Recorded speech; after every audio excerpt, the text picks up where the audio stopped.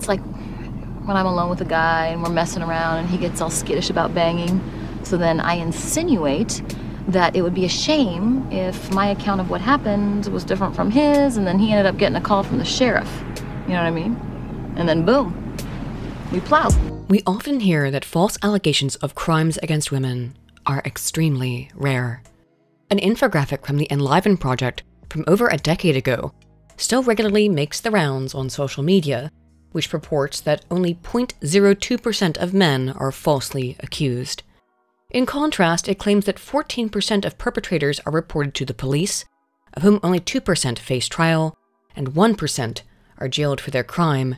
The rest of the men in this infographic are described as regardless. The Enliven infographic is far from alone in perpetuating this belief, though. A Google search of the prevalence of false reports will consistently reveal that the estimates lie between 2% and 10%, with many tending to focus on the smaller figure. Perhaps less responsible for the viral repetition of this number is Chief Crown Prosecutor for London, Alison Saunders, or the International Association of Chiefs of Police, which in 2013 claimed the number of false claims was 3%. These statistics have been circulating for so long that, for many, they have become common knowledge. But is there any validity to the notion that false claims are almost non extant? In recent years, more and more people have come to question these numbers. If there were a singular moment in time that caused the biggest collective questioning of that statistic, it probably was the Johnny Depp Amber Heard trial, which illustrated to many how allegations could be used as weapons in a way not previously so transparent to the average person. However, the trend does remain in the zeitgeist. To illustrate what I mean, in early 2024, once respected YouTuber Mama Max, who gained fame as a hunter of predators, suffered a massive public downfall after he repeatedly demanded that other large YouTubers cover a case of a supposed vampire werewolf cult that, according to Max, had victimized, and I quote, hundreds and hundreds and hundreds of minors. It was subsequently revealed that Max, who had named the supposed leader of this cult and encouraged his viewers to go after him, had no real evidence of these claims beyond the testimonies of a couple of women, one of whom was his childhood friend and was living with him at the time. My name is Spencer, and I am a survivor of Camden Gerard Davis, the leader of a destructive cult that has victimized hundreds of minors. This video is our screen for action but also that his previous supposed investigations of alleged predators of women and children were largely, if not entirely, fabricated.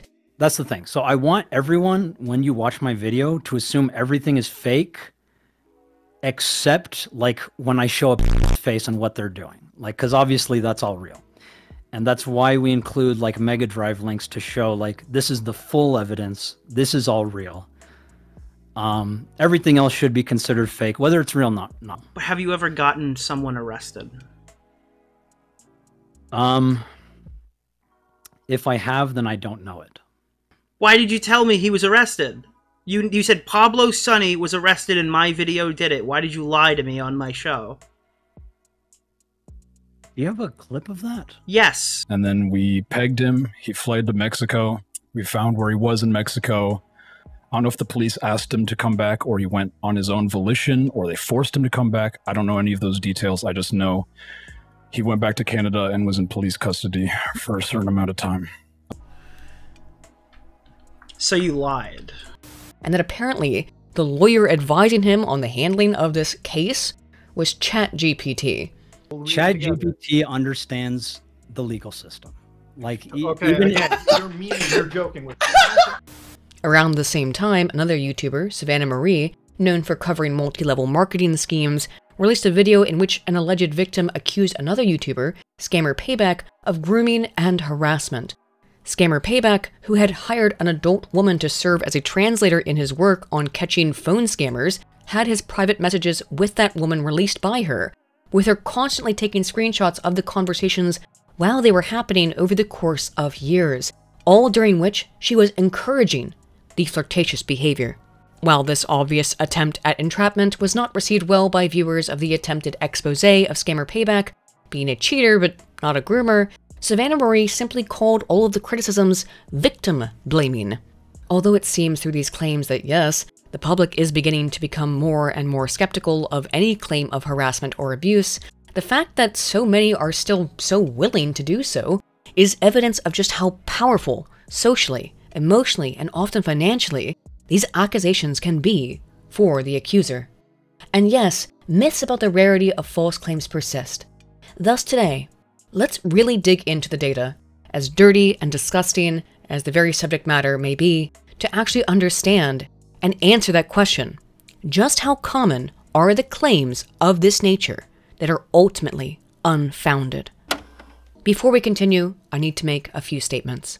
First of all, the subject matter of this video may be disturbing, and although I will not describe anything illicit or in graphic detail, viewer discretion is advised. Despite that, not only to comply with YouTube's terms of service, but also to be sensitive to any potential victims who may be watching, I will be using acronyms to refer to certain criminal acts, namely SA. Finally, I'm going to sprinkle in some jokes and funny clips throughout this video to, frankly, make it watchable, because for one, the subject matter is about as bleak as it gets, but for another, I do so as a function of instructional humor processing theory, which just means that it's easier to remember information when it's presented in a funny way. Please understand that I'm not making jokes to disrespect victims or downplay the severity of the crimes being discussed here, both against victims of SA and victims of false report, but rather because I want the video to be entertaining so people will actually watch it and will be able to remember the information that is included in this video. So take that into consideration. So with all of those caveats and warnings out of the way, let's get into the 2% myth.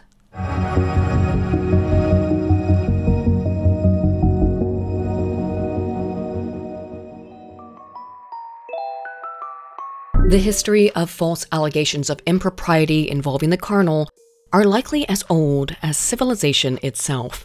Because knowing the parentage of a child is of value both for men, knowing they have successfully passed on their genetics, and for women, knowing the father of her child and being able to rely upon him to care for her and the offspring, it makes sense why the particular type of assault in question is so deeply offensive to all of us, not only because it is a violent act that strips its victims of agency and often leads to a lifetime of trauma, but because of a fundamental animalistic necessity below the sensibilities of our cogent minds to evidence. It is a bad evolutionary strategy for a K selected species, such as humanity, whose children take an extraordinarily long amount of time to mature into adulthood compared to more R selected species, such as rodents, to engage in either infidelity or in non consensual intercourse.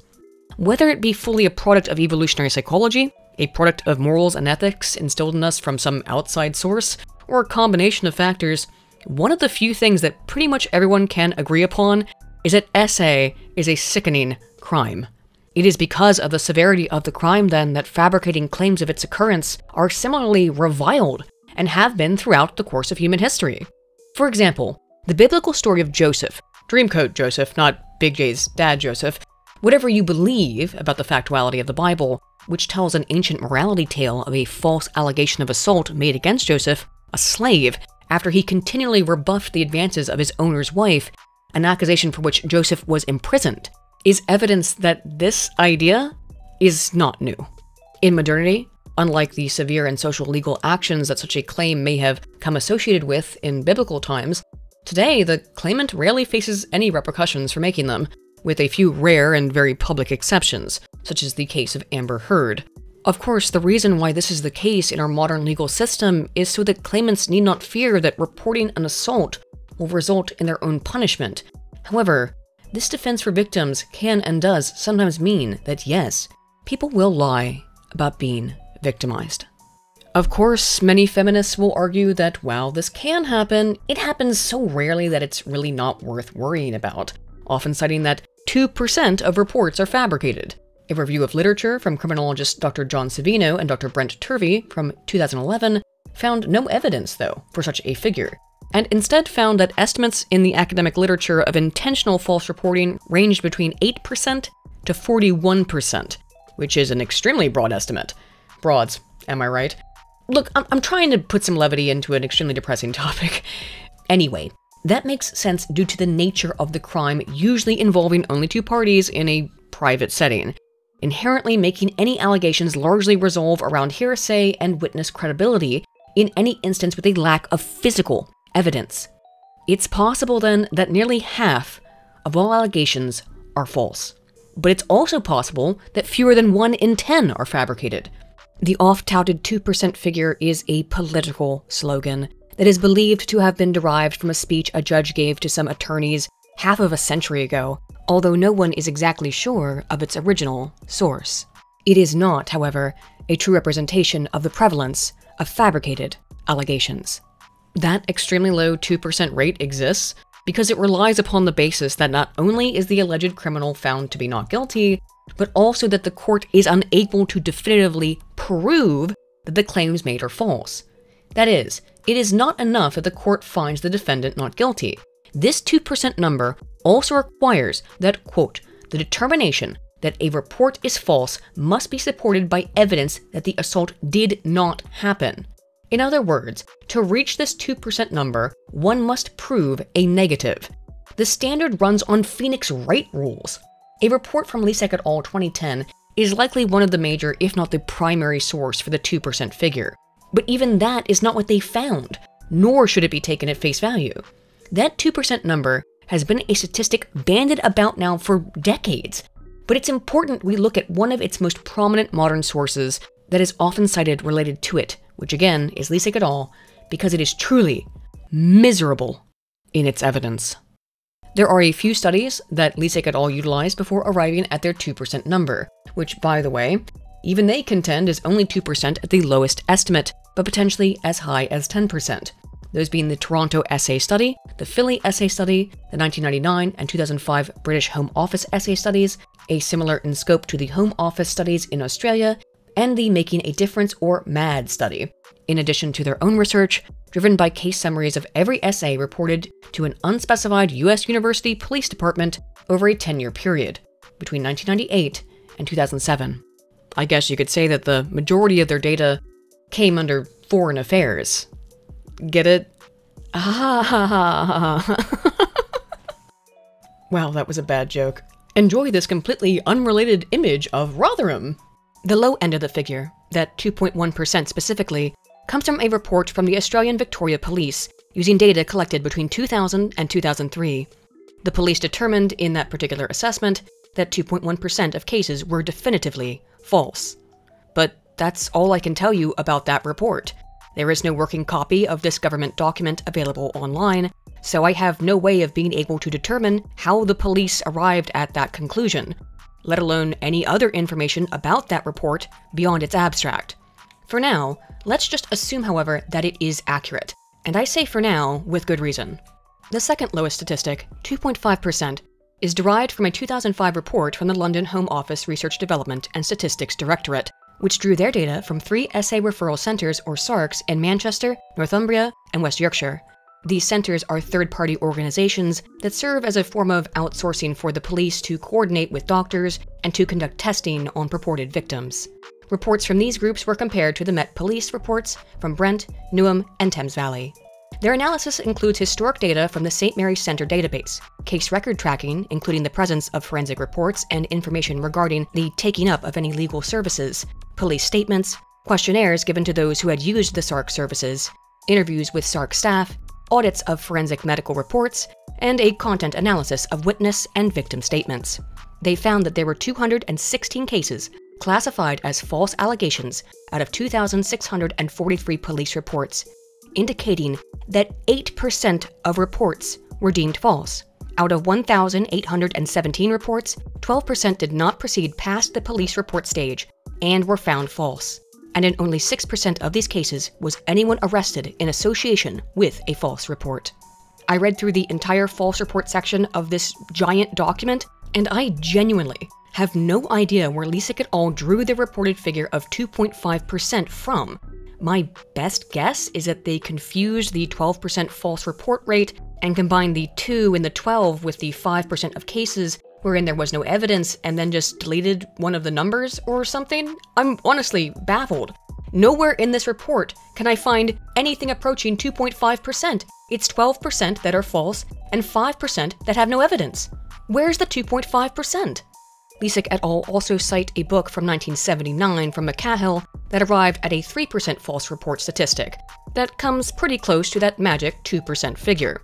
This book is not available online, and while I could have ordered a physical copy of it, those data are so old that I didn't think it worth investigating further, given the massive shift in culture and acceptance of feminism in the broader zeitgeist over the years. I would be willing to believe Lisak et al. that before 1979, perhaps the false report rate really was 3%. But they've illustrated to me that they appear to play a little fast and loose with what they claim other research evidence is, made clear by their claim that the London Home Office report found 2.5% of cases to be false when it was actually 12%, which, by the way, would place one of their own sources above their supposed 2 to 10% figure. And get used to that. So, frankly, I just don't believe them, and considering that I can't access that Australian 2000 to 2003 report, I'm also skeptical about the accuracy of that reporting. So, what exactly did Lisak et al. do in their own research to contribute to this alleged 2 to 10% statistic? And I am focusing on Lisak et al. as heavily as I am, because I believe that this article is one of the primary sources for that 2% claim, given that it has over 500 citations, making it one of the most cited papers on this subject matter. So, what did they do in their own research? Why they provided case summaries to two groups of presumably graduate students, but perhaps undergraduates, they don't clarify, meaning it could have been literally anyone. But they asked some people if they believed that the cases were fabricated.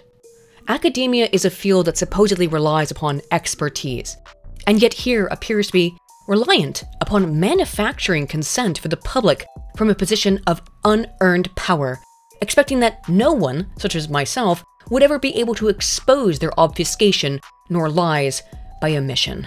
Whoops.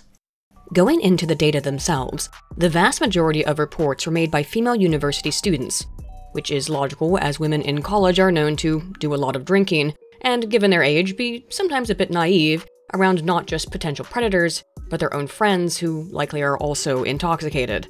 Look, this is just my personal opinion, but I think that if two people are sauced up and both legal adults, claims of SA are typically going to be nearly impossible to evidence. However, they found via their totally legitimate analysis, using the opinions of two groups of students perhaps, maybe homeless people, it's not actually clear, rather than the opinions of police, lawyers, and judges, that of 136 cases of SA that were assessed, 5.9% were false reports.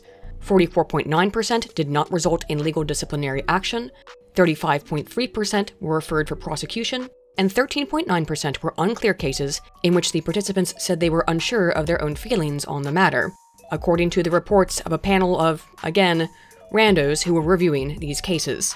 In total, then, et al.'s own analysis concluded that 6% of reports were false, not 2%. There are a number of other studies that they cite that range from 7% to 10.9%, which they round down for some reason, rather than round up, as is the standard. The only thing of value that I think can be gleaned from this contemptible series of words and tables are the numbers themselves, which illustrate that the majority of assaults are committed by non strangers, involve a single perpetrator, and largely concern students on a college campus. Many, but not all of whom, are intoxicated. And that's it, dear viewer. At least, I think so. I think this paper, given its wealth of citation and the lack of more readily available data from the Australian government documents that aren't accessible, and a book printed in 1979, I think this ridiculous paper, that cannot even cite other data correctly, and involved some of the dumbest methodologies that I've ever come across, is the primary source of the 2% myth. A study drawing from data from the LAPD from Swan White and Tellis 2014 came up with some pretty different numbers. These scholars examined 401 cases of alleged SA from female complainants over the age of 12 in 2008. They were given full access to these reports without redaction. The case files included the initial report from the officer who took the statements from the alleged victim, follow up reports from the detective assigned to the case, witness statements, physical and forensic evidence, as well as the detective's rationale in determining that the case was baseless, if that did end up being their decision. In addition, the scholars interviewed 52 LAPD detectives in 2010 for about an hour each regarding their decisions to unfound the allegations. These authors only considered a report to be unfounded if, after thorough investigation, that the complaint was intentionally fabricated, or if the case was baseless on the auspices that the complainant may not have been intentionally lying, but may believe themselves to be a victim despite a lack of forensic evidence, the presence of intoxicants, or witness statements that contradicted the claimant, which resulted in the police determining that no crime had occurred. There were two types of cases that were not considered false reports by the authors. Those were in the complainant rescinded their complaint, but there was some evidence that the recanting was motivated by fear, social pressure, or a lack of interest from the complainant in pursuing criminal proceedings, or cases where the complainant did not rescind the complaint, but there was a belief that prosecution would likely be unsuccessful in securing a conviction due to the behavior of the complainant, either being non-compliant, lacking corroborating evidence, or inconsistencies in their story that were found by the detective. To clarify with an example of each type of report considered false, in one instance a woman reported that she had been walking alone in the early afternoon when a man in a white van asked her if she needed a ride. After saying that she did and got into the car, the supposed suspect parked the car under a bridge, threatened her with a knife, and assaulted her. A story she relayed to her therapist and was encouraged to file as a police report. Upon traveling with the police to the bridge where the attack supposedly occurred, the officers noticed a security camera that would allow them to find the license plate of the perpetrator. At this point, the woman admitted that the encounter was consensual and that she had told her therapist otherwise in an attempt to garner sympathy, thus a case of recantation without evidence. In a case of the other type of false report, no recantation and lack of evidence, or evidence that the crime did not occur, a homeless woman living out of her Honda Civic claimed that she awoke to find two men in her car who had drugged and assaulted her, and that they had done this several times before, but she had not reported the prior instances. A medical exam found no evidence of non-consensual activity, nor of rohypnol in her system. And police noted that it was highly unlikely that two grown men, one claimed to be 5 foot 11 and the other 6 foot 2, could have committed such a crime in the back of a compact car. Thus, a case without recantation, but unfounded via investigation. Cases that were unfounded and baseless, but not intentionally fabricated, often involved the consumption of recreational drugs at a rave or a party, or instances where the complainant was found to be developmentally delayed to the point that they could not understand the very concept of SA. The authors only considered instances where it was either directly proven that the complainant was lying, or instances where the complainant may have believed a crime had occurred, but investigation could not provide any evidence for it. Everything else, including when the complainant recanted their claim, or when there was a lack of evidence or mitigating factors that would make the case impossible to prosecute, were not considered false reports. So keep that in mind when we go into these findings. Even admitting that the claim was false was not considered a false report in this study. Of the 401 cases, 81 were unfounded by the LAPD, meaning 20% of cases were directly closed by the police for any of the aforementioned reasons, including the ones that the authors do not consider false reports. Even with this categorization, 14% of unfounded cases were found to be false because the victim recanted and there was no evidence, or because there was no evidence of a crime or evidence indicating the crime absolutely did not occur, but the victim did not recant. An additional 1% were found to be baseless, but not fabricated, intentionally or not.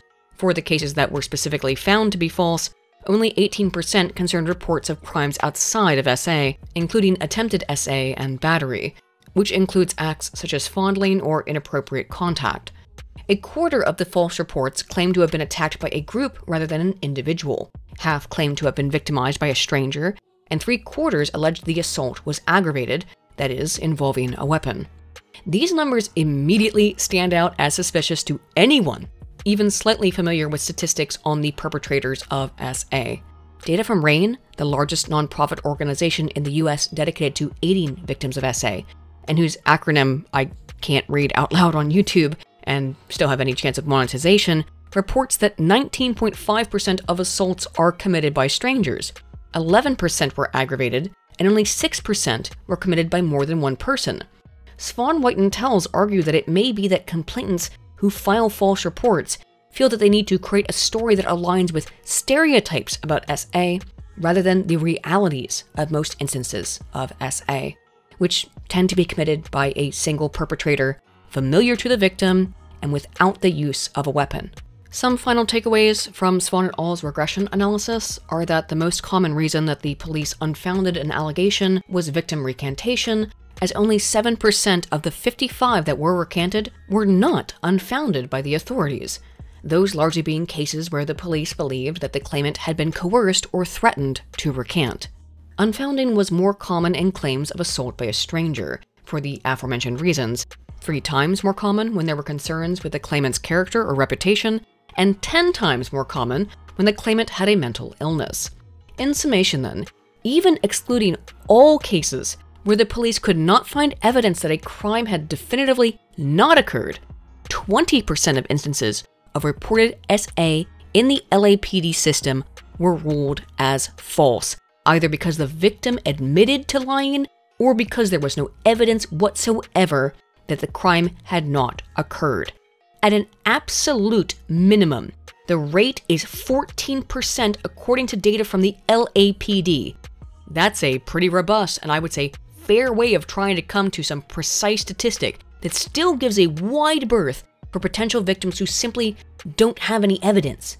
While Swan et al. did find that the vast majority of reports are not unfounded by the police, their estimates are between 2 and 10 times the prevalence of false report according to Lisak et al. and the commonly touted 2% statistic. We just spent a good deal of time going over some actual research from Swan et al., which I wanted to focus on, not only because it's interesting, but because people, including other academics, often like to misinterpret their findings.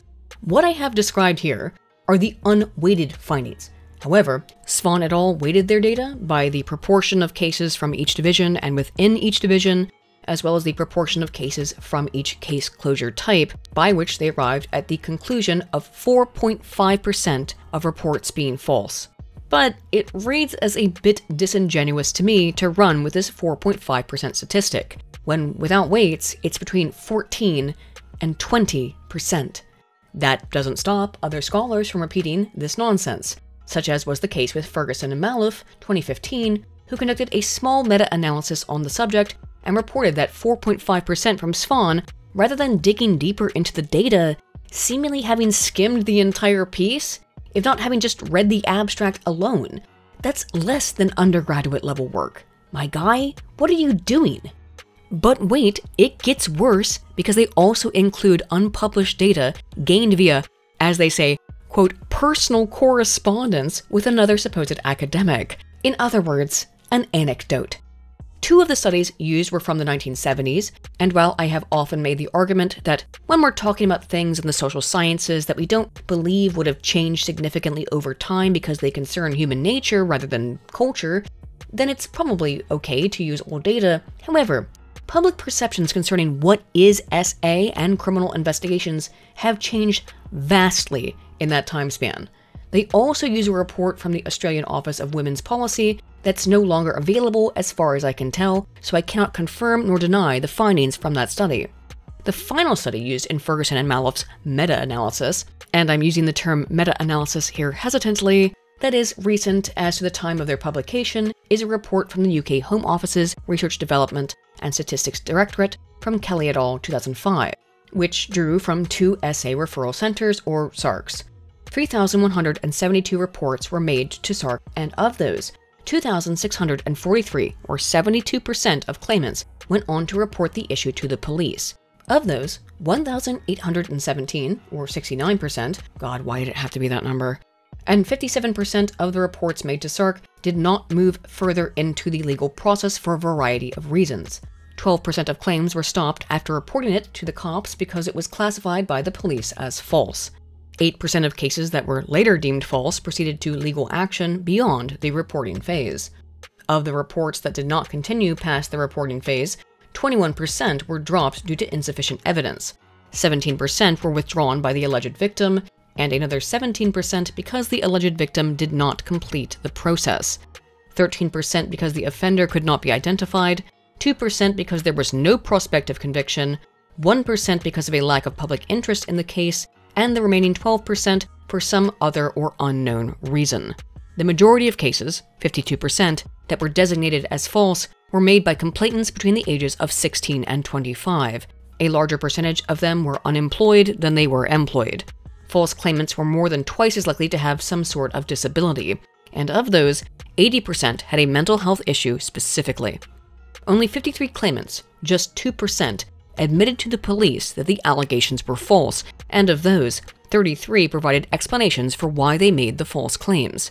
Of those, 75% were made for the purpose of covering something up, most commonly, infidelity, then hiding a relationship from one's parents, then investigations of fraud or theft, and only one case in which the claim was made to hide a tryst with the adult claimant's father in law. Only 8.25% admitted that they made the false claims for the purpose of revenge and gave a number of rationales revenge against a difficult neighbor, against an ex partner who refused to leave his new partner, against an ex partner who had previously allegedly engaged in forced acts, but not in the instance that was reported to the police, to make an ex partner feel sympathetic, or against a man only interested in a one night stand with the supposed victim. 145 cases escalated beyond police report, but not to trial, representing only 6% of the total sample, and were directed to the Crown Prosecution Service, which advises the UK police and other investigatory agencies regarding whether or not a suspect should face criminal charges. An organization I suspect rarely gets a moment of rest, given what I know about the Metropolitan Police. I'm a full on rapist, you know? Um, Africans, dyslexics, children, that sort of thing. 50% of cases were forwarded and were pending trial, but of the other half, in 6% of cases, the alleged perpetrators were given a caution or reprimand without legal action. 26% of cases were discontinued by the CPS, 17% of cases were resolved in a withdrawal from the claimant, and in 1% of cases, the suspect had fled from the authorities and could not be located. The third group from this dataset actually did go on to trial, 322 cases and represented 14% of the full sample. Of those that were set to go to trial, a similar percentage of cases resulted in both guilty pleas and acquittals, with 32% being acquitted and 28% pleading guilty. 20% were convicted of the charge.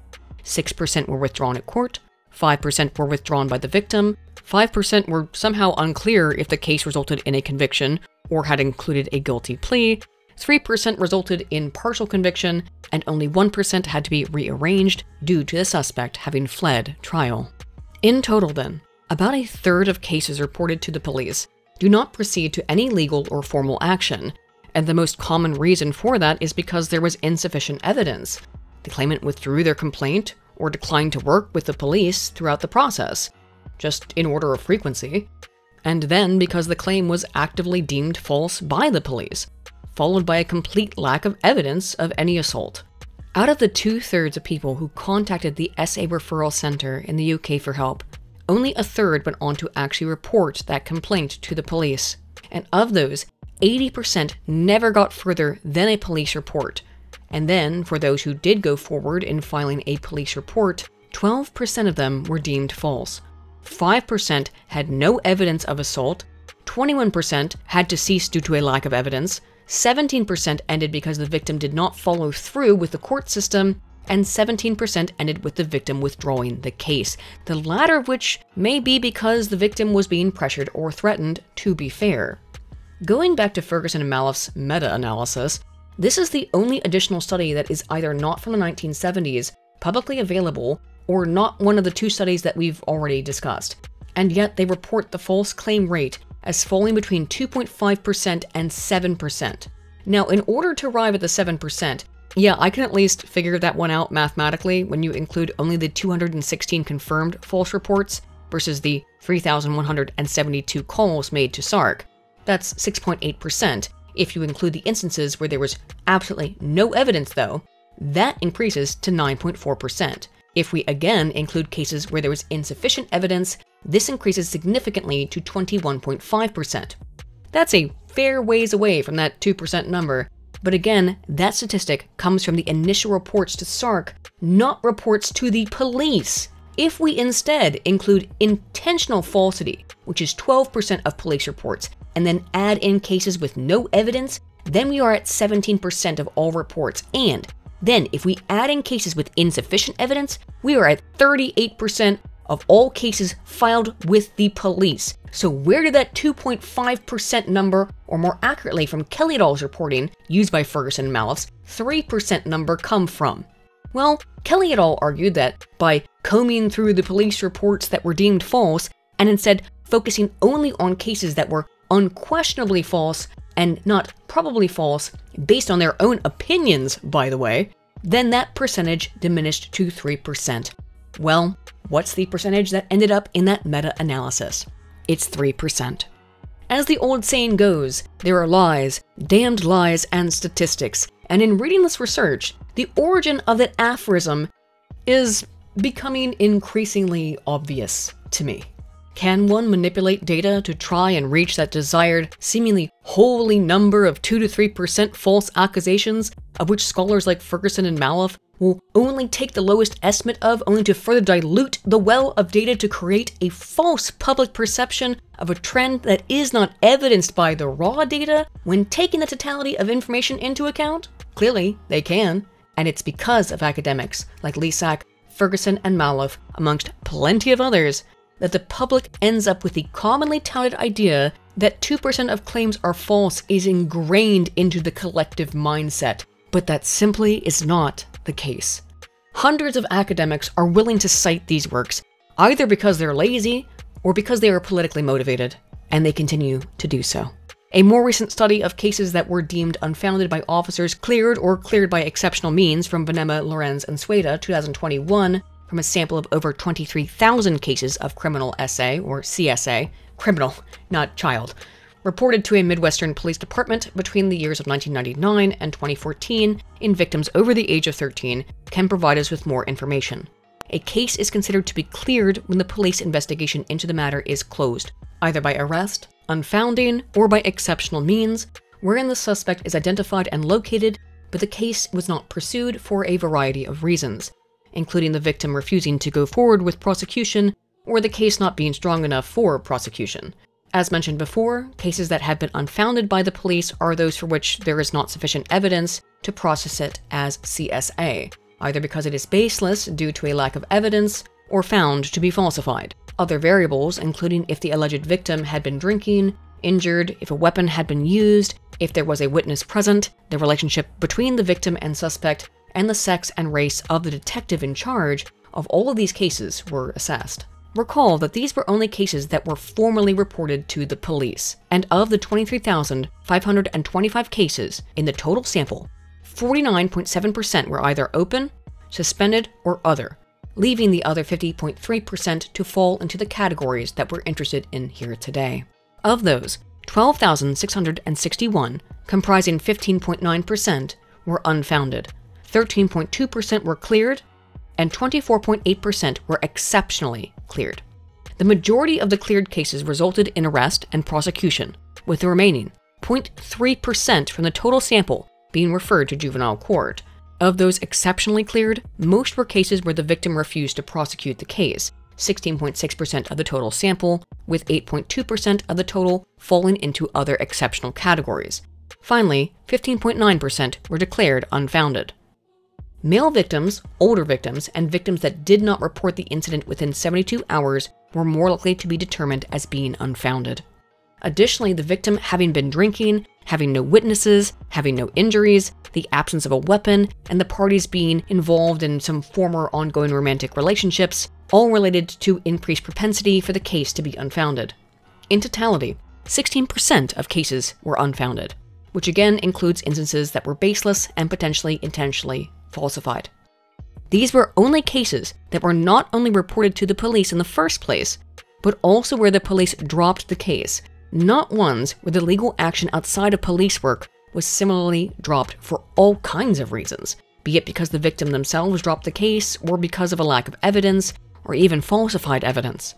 What I think is of most import to be aware of in all of the studies that we've looked at here is that these are concerning only police report and or going further in terms of legal action.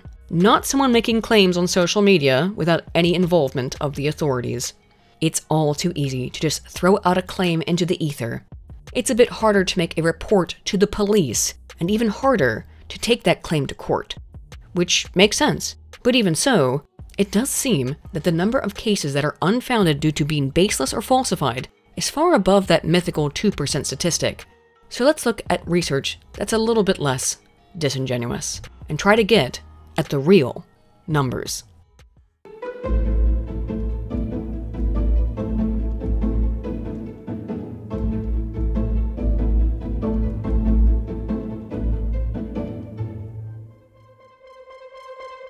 Anyone being serious and not trying to cook the books knows that the number of false reports far exceeds 2%, and that said number can only be reached by holding claimants to a standard of being found guilty in a court of law, when, as we've seen, most cases don't go past a police report, and a significant number don't even make it to the cops.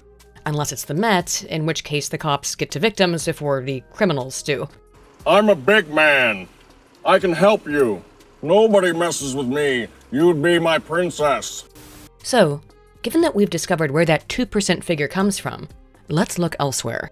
For example, Jordan 2004 examined a sample of 164 criminal files from the New Zealand police, where the complaint was cleared as no offense disclosed, aka unfounded complaints, and those which the police classified as a reported offense but had ceased investigating, either because there was insufficient evidence or because the complainant withdrew the allegation.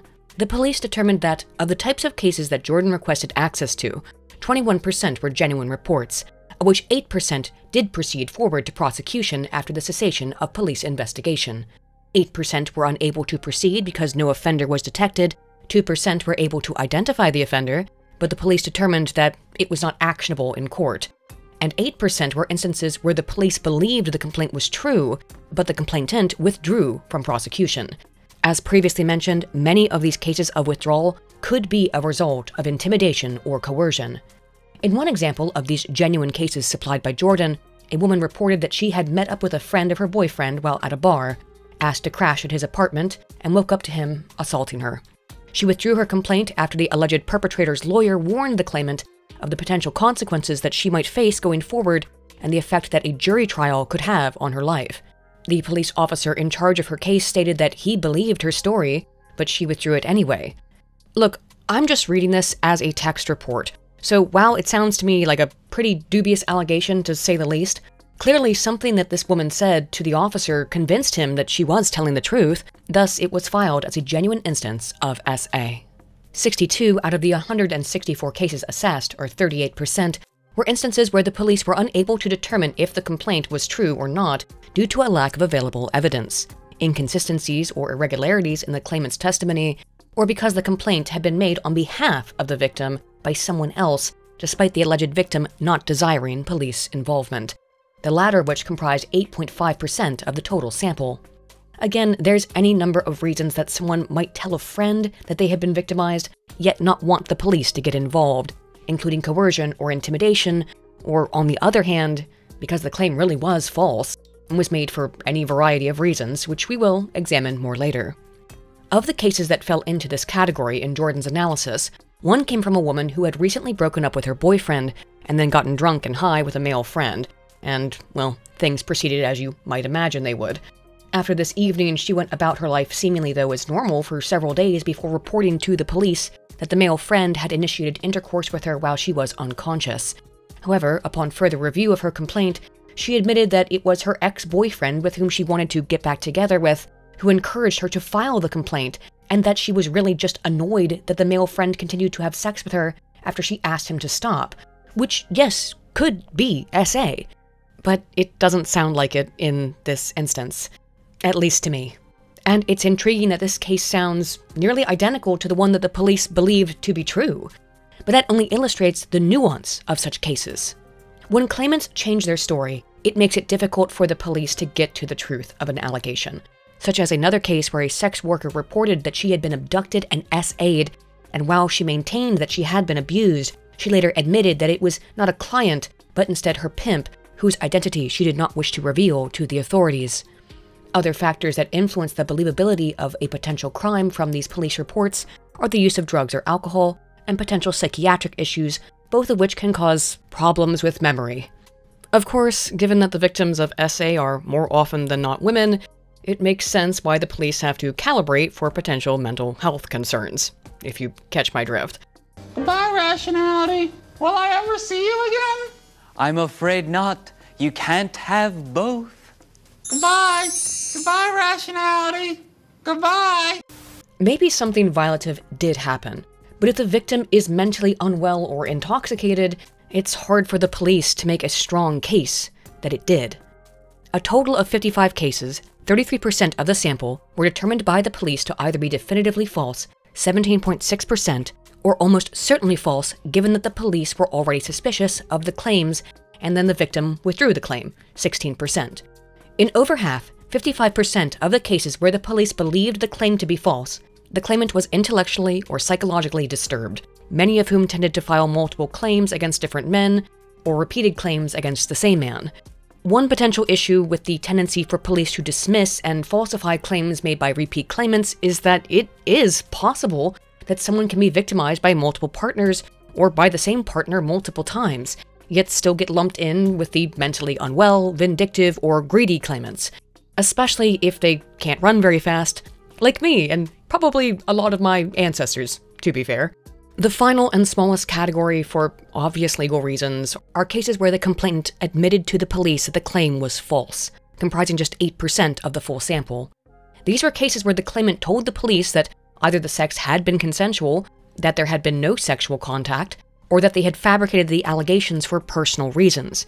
As a recap, Jordan's data indicated that in total, 41% of filed instances of SA that were no longer being investigated by the New Zealand police were false, either as determined by the police or admitted to by the claimant. That is a far cry from 2%. Maybe if you include all the sheep on the island, those numbers would make more sense, but otherwise, I'm not sure how one circles those squares without someone playing silly buggers with their data. An incredibly detailed study from the southwest of England, which assessed 379 cases of SA or attempted SA of victims of both sexes, curiously, the first time we've seen male victims even included in any reporting in this review, over the age of 16 between 1996 and 2000 from Lea Lanvers and Shaw 2003, also paints a very different picture from the feminist and pop armchair psychology dogma of the 2% false report statistic. Of the 379 cases, 84.7% were reported as SA of a female, 10% of attempted SA of a female, and only 5% the attempted, not completed, SA of males. 78% of reportants were under the age of 35, and 66% described themselves as single at the time of the event. Out of all categories, the majority, 33% of claimants, were unemployed or dependents. As the age of the victim increased, somewhat interestingly, so too did the age of the perpetrator, 58% of whom were single and 41% of whom were unemployed. Reports of assault were made more commonly on the weekend, predictably, as it tends to be when people are out drinking, doing drugs, and, well, other crimes. Today is fine day in California. Huh? Most claims, 62%, occurred within the home, rather than in a public place with 30% reported in the home of the complainant, 17% in the home of the accused, and 15% in a shared home of the two parties. Comparatively, 4% occurred in a car, 6% took place in a private place outside of the home, such as a friend's house, and 28% in a public place such as a nightclub or an alleyway. Younger victims reported being more likely to have been attacked in a public place, and in 37% of all cases, the perpetrator was described as a stranger, Something that we know to be a bit wary of, but hang on with me because before we get to the outcomes, there are some important details that we should understand in order to get a better view of the totality of these data. In 10% of cases, the assault occurred after having accepted a lift or an invitation home from the accused, 8% after accepting a mutual walk, and a surprisingly low 2% after accepting a drink from the alleged perpetrator at a bar.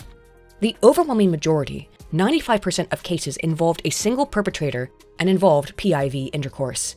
Somewhat fascinatingly, even in this 2003 report, they included what they called digital penetration as part of their 4% figure of violation and not involving the use of, uh, the male part. Wait. Oh. Oh, that's what digital penetration means. Okay. Yep. Uh, makes sense why that was happening in 2003. Okay. Gotcha. My bad. Anyway, in 71% of the cases, the victim reported no threats made outside of the act itself, and 46% reported no violence even in regards to the act. However, when violence was threatened, it was more likely to be enacted. In total, then, 38% of cases were dropped either because the victim retracted the allegations or because she refused to assist the police in the case. As I've said before, there is always the possibility that victims retract their allegations or do not work with the police because they are being coerced or threatened, and in fact, in 50% of these cases, the police did suspect that that might be the case. However, if we take that police estimate into consideration, then still, 19% of alleged victims retracted their case for some reason other than threats or coercion. These also aren't just guesses by the officers, as there was a significant relationship between there being an ongoing partnership between the victim and the perpetrator and the case being dropped with no further action taken, compared to cases where the victim either did not know the perpetrator or in which their relationship had ended. I also cannot overstress that me pointing out these statistics and being critical about them is in no way blaming victims of both abuse and coercion. But at some point, we have to be clinical and mathematical, not emotional, even while respecting the experiences of real victims. At some point, we need to be scientific. That all being said, in 10% of instances, the police determined that claims made by an alleged victim were false, and in another 10%, the alleged victim admitted to having fabricated the complaint. An additional 3% of cases did not proceed because the claims of the alleged victims were deemed inconsistent due to the claimant having mental or psychiatric issues and thereby were unable to be verified. Ignoring the mental illness instances, that leaves us at 20% of allegations being false. Perhaps the victims said their reports were false out of fear, true, but if we take that same percentage of police, 50% who believe that the withdrawals were coerced, and then apply them to the far more serious legal situation of a supposed victim admitting to having falsified the claim, even then, we end up with 15% of reports being false and if we then add in the claims that are dropped, including the 50% coercion rate, we're at 34% of all claims being false or retracted for some reason other than coercion or threat. That's a third.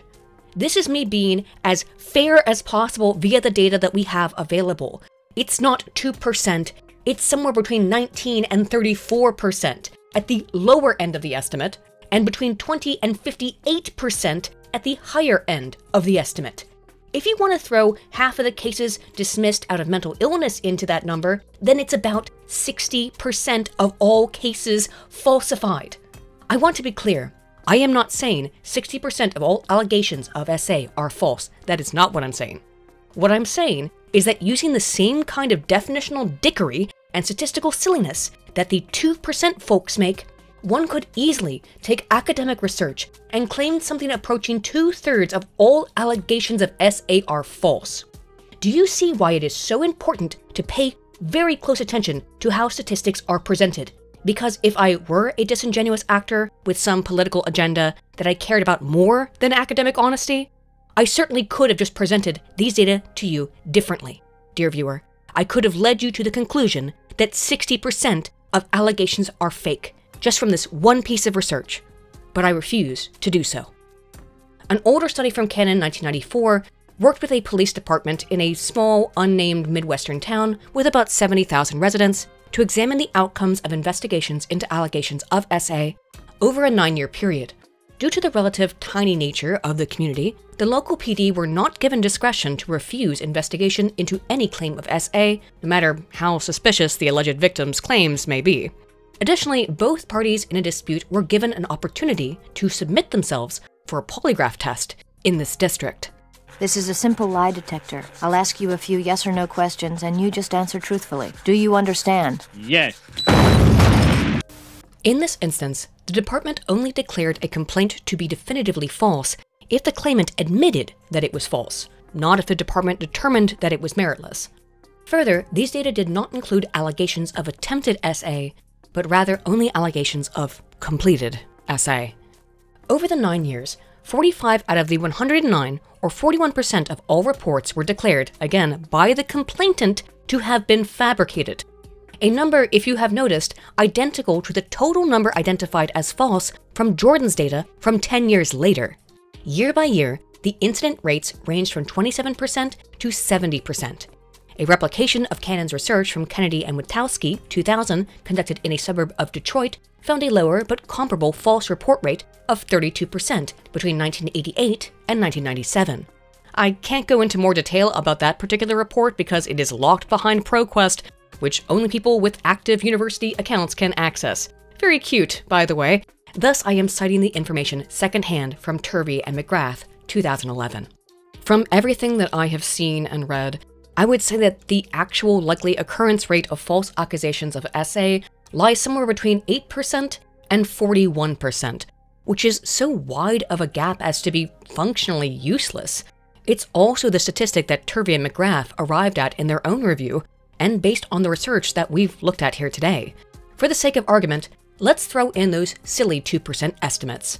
And we're now sitting at false reporting falling somewhere between almost never and almost half of all allegations, broadly speaking. How anyone could look at the wealth of research on this subject and publish something as disingenuous as the Enliven Project's graph, which to this day gets circulated around on social media as unquestionable proof and fact, is patently absurd. Scholars like some, but clearly not all of these that we've looked at, seem to have a point to make, hence their adherence to that 2% statistic, even when it makes no sense from their own data and selection of data from their reports. If you care about politics and not science or truth, well, then you wouldn't want to cite studies from the likes of Jordan 2005 or Lea Lanvers and Shaw 2003 or Kanin 1994 or Kennedy and Witkowski 2000 and instead just keep citing over and over and over again the couple of papers that play silly buggers with the data in order to bolster your existing world view, not science, not fact, politic. Academics like Lisak et al., Spohn et al., or Ferguson and Malouff are very clear to only ever judge claims proven false without a shadow of a doubt to be false in a court of law as false, and then take from those cases and subtract as much as possible using some data manipulation, or excuse me, probability estimates based on little more than feelings, or at least that's how it looks to me. I tend to believe a more reasonable perspective, and again, this is my perspective, so feel free to disagree with me here in the comments, would be to at least include the number of cases for which there are no evidence, insufficient evidence, and even victim withdrawal as important statistics to keep in mind when making claims about the actual prevalence of false allegations. But a ton of these cases never go to court or even beyond a police report if they even get that far, and plenty of them simply have no evidence, in which case it is absolutely impossible to say whether or not the report is false. So, how do we determine the truth in these cases?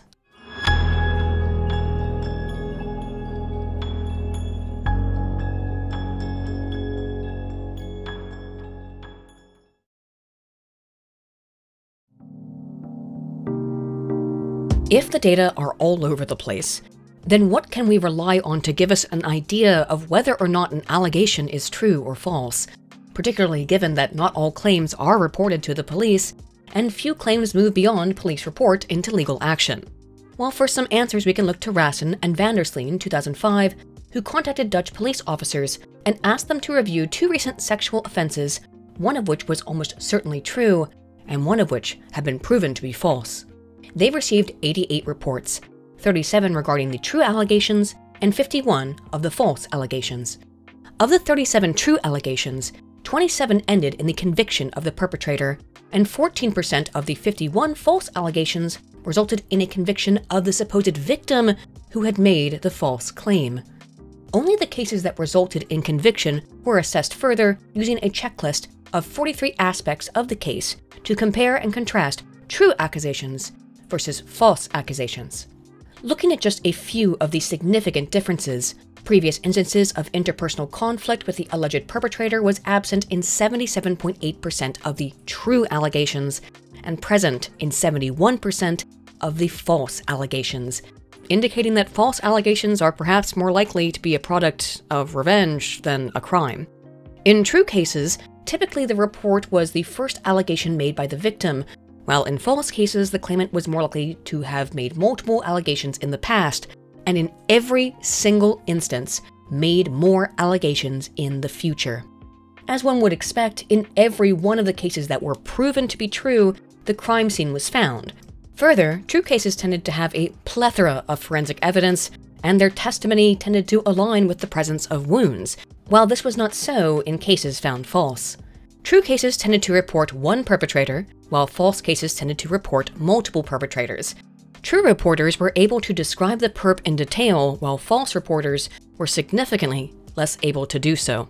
There were several differences in the behavioral patterns between the two types of claimants concerning interactions with law enforcement, as actual victims were less likely to make allegations immediately, say that they fiercely resisted the assault, present with behavioral problems, take the lead in police interviews, be egocentric, be indifferent towards wounds or damage towards their bodies. Testicular torsion casters are always acting tough, right until a wizard casts. Mend! But You rapscallion! I was so peggable before! Ha!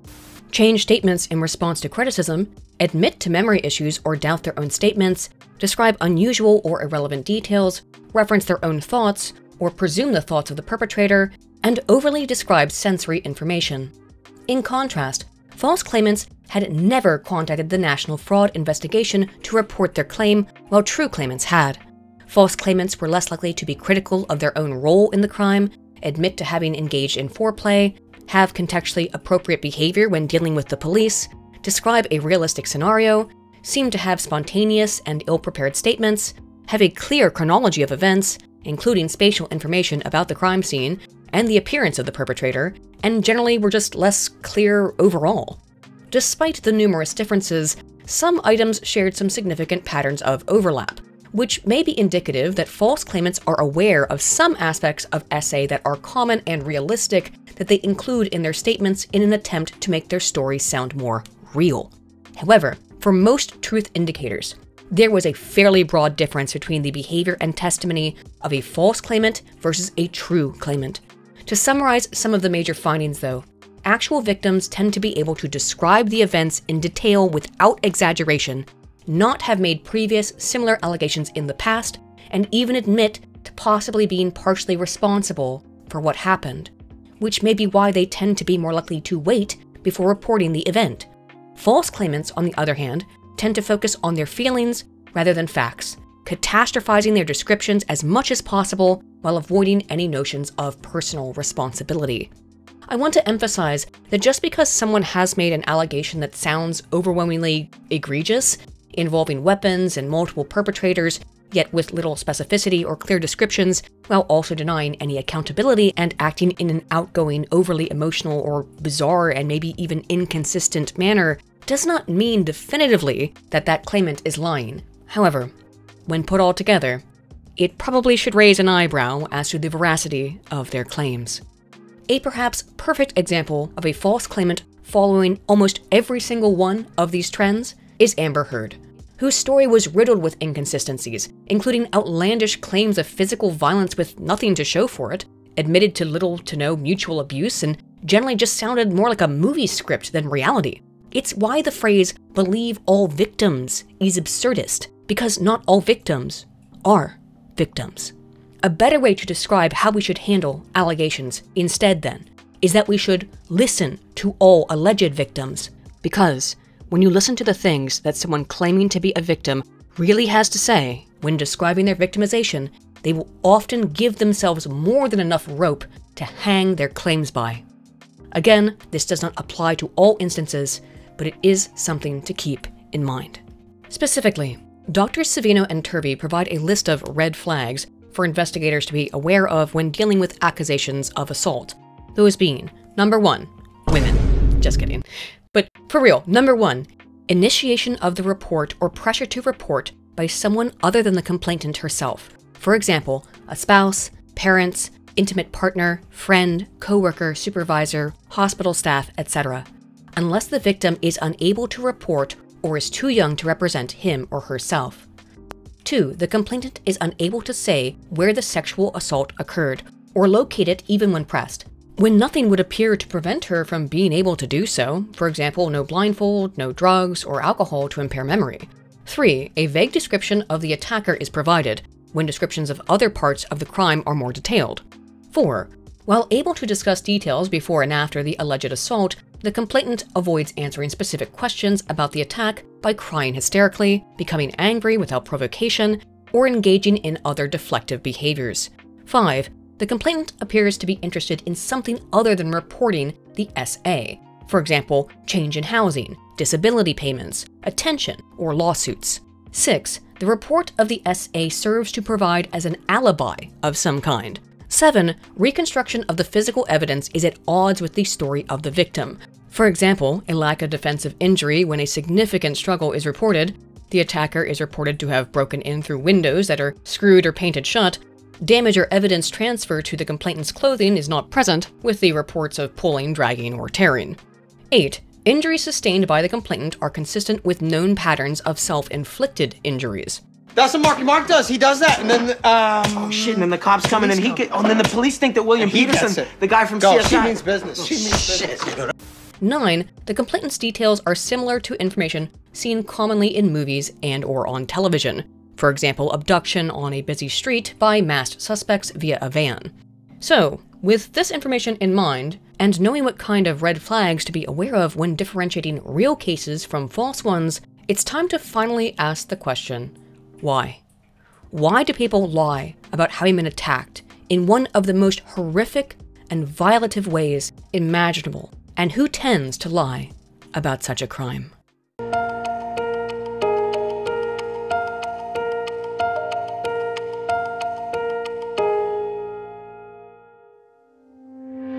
What I believe we need to understand in more detail, which we've discussed somewhat already, is this. Why make false accusations at all? For Potiphar's wife, who accused Joseph in the biblical tale, her reasoning was revenge against the young man for rejecting her romantic advances. In addition to revenge, Savino and Turvey identified several reasons why one might make a false report, including profit, be it the result of a lawsuit or in the form of sympathy and charity from others, crime concealment, either by lying about the true perpetrator of the act in order to protect them from punishment, or by claiming to be a victim of abuse when a suspect in another criminal act in an attempt to deflect blame, concealment of illicit activities, describing consensual behavior as non consensual after the fact to hide one's complicity in the act, and mitigation of responsibility, which, similarly to concealment of impropriety, refers to situations wherein any criticism of the individual is deflected from them by claiming victim status. The final reason for false report is mental defect, in which cases a fabricated claim is made either as a cry for help or because of mental illness that could produce false or inaccurate memories. The latter was perhaps the case for Catherine M. Clifton, who accused her college professor of abuse, only for her lawyer to say in court, after investigators found absolutely no evidence to substantiate her claims, that her bizarre behavior, including forging the signature of a judge to show as evidence to her friends and fellow classmates that she had won her case at court, was because Clifton had in fact been assaulted by her grandfather when she was just a child. Her grandfather was actually convicted of the crime that she had levied at her professor. More egregious, however, is the case of Audrey Seiler, who claimed that she had been abducted by a strange man, only to later be caught on security cameras buying the rope with which she would tie herself up, leaving herself to be found four days later after she reportedly went missing, and blamed her actions on, quote, severe depression. Sounds like a bunch of fetish to me. Excuses aside, and although we have a basic idea of the general rationales for making false complaints, we should know which are the most prevalent, which we can learn by looking to a paper from O'Neill et al. 2015, who conducted a qualitative review of the complex reasons for false allegations of SA, drawing from 55 cases reported to the LAPD in 2008. These were limited to reports of a crime that had been determined by the police to not have occurred. Of course, this was in 2008, and there was a lot of violation going on, particularly fiscal, but I digress. Multiple motives were understandably the most common, but of the specific motives, the most frequently reported was attention or sympathy, which was broken down into two types personal, 9% of the total sample, or medical, 31% of the total sample. 22 cases involved making accusations for the purpose of either providing an alibi, 16%, or avoiding other criminal allegations, 23.6%. The next most common reason was mental illness, reported in 33% of cases, then anger or revenge, reported in 23.6% of cases, then regret or guilt, reported in 13% of cases. then the incident not being able to be classified as SA, 9%, and finally the complainant claiming that they never made an SA accusation, present in just under 4% of reports. While there are multiple reasons for fabricating a report of SA, the most common then is avoiding personal accountability for some offense, be it relational or criminal. Got caught fooling around with the pool boy? Well, it's probably easier to attempt to avoid personal responsibility by claiming that you were attacked rather than admit to consensual infidelity. However, and this is speculative on my part, but it seems that the cases that most commonly get the public's hackles up are those where the allegations appear to be motivated by greed, malice, attention seeking, or unrequited love, rather than false memories, crime concealment, or mental illness. Well, why do you have a bunch of like weird tools in a hidden compartment in your car? Fetish, fetish. I, I, I like to bind. I like to be bound. I don't. I, that's not important. Don't ask me questions. Evidenced as the entire world seemingly aligned in a rare moment of harmony to all collectively agree that Amber Heard was guilty of trying to destroy Johnny Depp's career, likely for a mixture of at least two of those reasons greed and malice, if not also attention. Although we all know how that backfired in her face.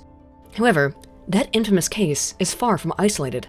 Paraphrasing from a report from Goodyear Smith 2022, in the 1990s, the government of New Zealand instituted a program to award a flat $10,000 to anyone who claimed to have been a victim of SA, even in instances where the accused abuser was acquitted of the crime in court. Well, friends, how do you think that played out? It's four Fs. I didn't know it was going to come off like that. The outcomes of this program were predictable.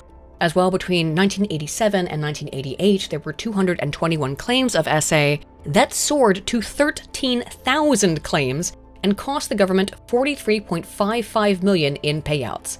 Although claims dropped over time, it's pretty telling that directly after the Kiwi government promised money to citizens no matter the legal outcome of their case, that reports of SA exploded.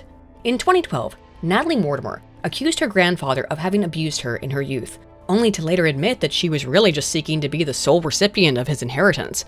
In 2014, famed British singer and actor Cliff Richard was accused of child SA by four men, but he too was exonerated after one of the claimants was found to have threatened to make claims up against him unless he paid said claimant to keep quiet. The case resulted in the BBC being forced to pay Richard £2 million in damages for reporting on the story. It's not just women who do this. Men can do it as well when they believe they have something financial to gain in making a false accusation. Spurned lovers or prospective lovers, such as in the tale of Potiphar's wife, are also often motivated, out of anger or unrequited love, to make false claims, as was the case with a New Zealander woman who was found guilty of making false claims against three male friends in 1996 and admitted that she filed the reports as revenge because one of the men had upset her by being unwilling to become involved in a permanent romantic relationship with her. She was seemingly so infuriated by his rejection, she not only falsely accused the guy that she was into, but dragged his two friends into the mud with her as well. Or in the case of Taya Melrose Cooper, who told police that she had been subjected to SA at knife point, only to change her story, admitting that she made the accusation because she disliked the accused men following CCTV footage revealed that the alleged assault had not taken place. The reasons for filing a false complaint can be as trivial as a friend refusing to give you a ride home, as was the situation for Layla Ibrahim, who cut her hair, clothing, and body with scissors before reporting her friends to the police, resulting in four men being held in custody for over 60 hours while their bodies were extensively examined if you catch my drift. Ultimately, Ibrahim, who was seven months pregnant at the time of her trial, received only three years in prison for her false claims. And speaking of pregnancy, child custody issues are also rife with false claims of abuse for the purpose of harming the former partner by depriving them of their parental rights that I'm not even sure it's worth belaboring. Get it? Such a topic by going into it in more detail. So let's just leave it at this report on alleged rates of incest and SA in custody disputes from Green 1991, who concluded that between 35% to 95% of such allegations are unfounded. The final motive that I believe produces the most ire in the public upon being proven false is attention seeking, such as was the case for Natasha Statesman West, who claimed she was forced into a car and assaulted, but inevitably confessed that she had made the story up because she just liked the attention. What makes this motive perhaps of more concern than the others is that it seems to come with an element of social contagion. As for example, within a week of a 45 year old Kiwi woman reporting to the police that she had been assaulted, a 25 year old neighbor made the same claim, which was later dropped after having been determined to be false. It seems then that if you want attention, money, revenge, or love and can't seem to obtain it, then making a false claim of abuse is certainly one way that some people will attempt to gain it. Going back to Kanin, 1994, several rationales were provided by the women who admitted to their false claims, the most common of which, present in 27 or 56% of the cases, was providing an alibi, which in most instances was to cover up for infidelity or fears of pregnancy, such as one woman who claimed that she had been violated because she had unprotected sex with another man while her husband was overseas, and she knew she could not pretend, had she become pregnant, that the child was his. Only three cases in this category were not motivated by fears of being ousted for unfaithfulness. In one, a 25 year old woman got into a drunken brawl with a man shortly before a custody hearing and claimed that he had SA'd her out of fear the drunken fight would harm her case. In the second scenario, a 16 year old girl was drinking with two male friends, had sex with one of them, and then later that evening invited two other male friends over to her house, at which point her partner bragged about having bedded her and in fear that others at her school would gossip, she ran to her friends to claim that it had been an assault. In the third, and one I'm gonna have to censor, and if it's something that I'm censoring in a video about this topic, you know it's bad. And in this case, it's the N word. Warning. For viewers sensitive to issues of race, be advised that the following piece contains gratuitous use of the N word. And by N word, I mean.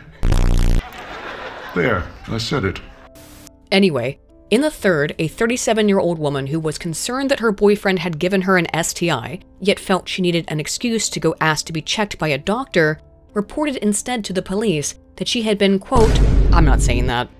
I don't think I've ever seen that word published in an academic paper, but uh, I guess 1994 sure was a different time now, wasn't it?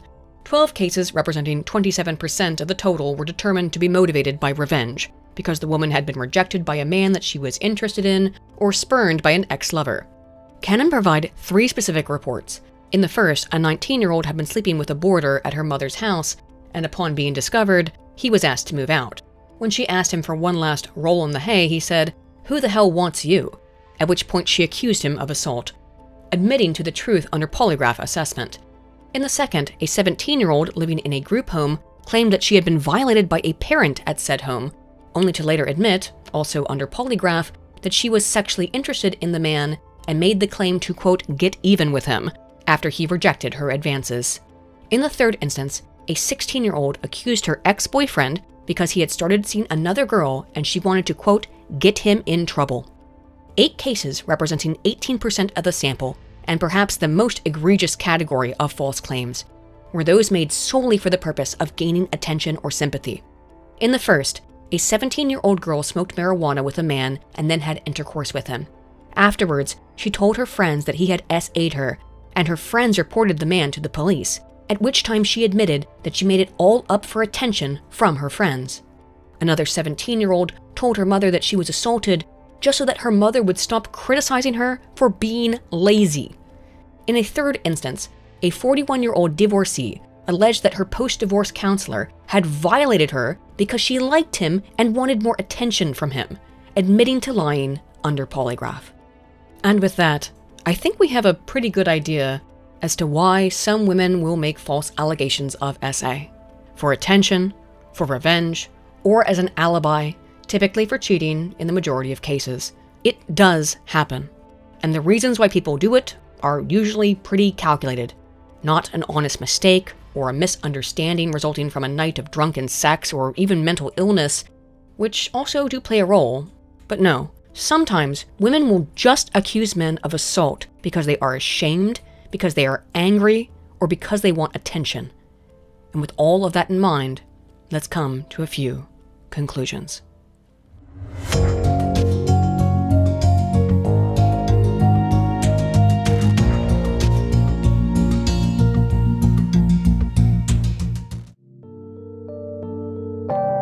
There are a variety of reasons for which one may make a false report, and do, in fact, do so not infrequently, or at least not so infrequently as the commonly touted 2% statistic would lead one to believe, as somewhere between 8 and 41% of claims of SA are either demonstrable lies or have so little evidence as to be unactionable in court. The contention that false allegations never happen or happen so rarely as to be written off as a once in a lifetime aberration is clearly not representative of reality because, yes, some women are just bad people. Some women find themselves in circumstances where they believe that making such an allegation will help them either gain something in society, be it sympathy or attention, or because they are ashamed and want to cover up infidelity or sex acts that they later regret. At the same time, there are women who are real victims of a crime and yet will not report their abuser because they are afraid of further victimization or have been coerced or intimidated to stay quiet. Both things can be and are true at the same time, and that, I believe, is the key takeaway from these findings. Of course, I am not saying that all women who claim to have been the victims of SA are lying. That's absurd. But in the same breath, to claim that no or almost no women ever make false reports is equally as absurd. The purpose of this video is not to denigrate survivors of SA, but to shed a spotlight on those who use victimhood and the goodwill of others as a weapon, and in doing so, cause the public writ large to be increasingly skeptical of claims of assault. There are two groups harmed by false allegations the accused, who often have their lives ruined, even after being exonerated due to the nature of the claims, and actual victims, those whose real trauma is diminished by the very existence of false claims. This is not relegated to the issue of SA, of course. People lie about being victims all the time for all types of crimes. It's an unfortunate reality of society. The solution, however, is not to pretend that false reporting doesn't happen, because clearly it does, and it happens far more commonly than in 2% of cases. The solution is to be honest about the existence of false reporting, not to lie or obfuscate the statistical data because it makes you feel uncomfortable or it doesn't suit your political agenda. The solution always is to tell the truth, because only the truth can be used as a lodestar by which to guide any true social change, aid victims, and protect the falsely accused from life ruination. But hey, what do you guys think? Do you think that the 2% statistic is a fair way of describing the prevalence of false allegations? Because it very well may be on the low end of the reporting. If not 2%, then what do you think the rates of false report really are? Are there any other reasons for false reporting that the researchers didn't identify here? Do you personally have any experiences with false report? Let me know in the comments down below, not only because I'm genuinely interested, but because it does help this video in the YouTube algorithm so that it will get recommended to other people.